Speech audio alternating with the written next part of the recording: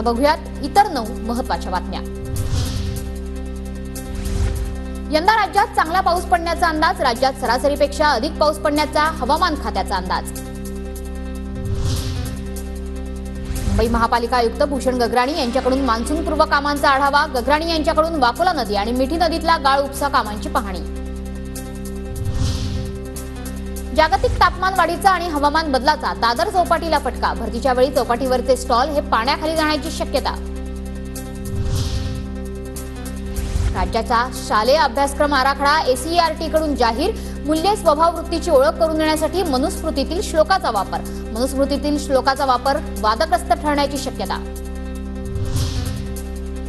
दहावी बारावीच्या परीक्षांमधून श्रेणी विषय अखेर हद्दपार. प्रत्येक विषयाचं मूल्यमापन गुणांकन पद्धतीनंच होणार.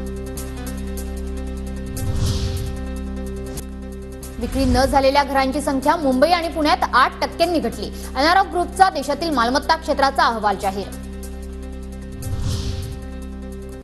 राज्यातील एमएमआरडीसीच्या सहा प्रकल्पांसाठी सदुसष्ट हजार कोटींच्या निविदा. निवडणुकीची धामधूम संपताच निर्णय.